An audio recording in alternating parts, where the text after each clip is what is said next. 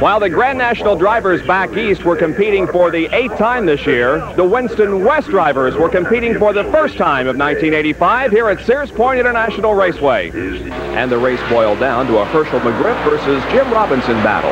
McGriff, the pole sitter, number 04, led the first two-thirds of the race, then was passed by defending Winston West champion Jim Robinson in number 78. Bill Schmitt was running with the leaders until a tire blew. He was towed back to the pits and was restarted, finished 11th.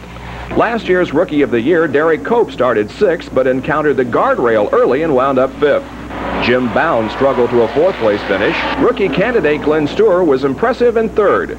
15 laps from the finish, McGriff retook the lead and beat Robinson to the checkered.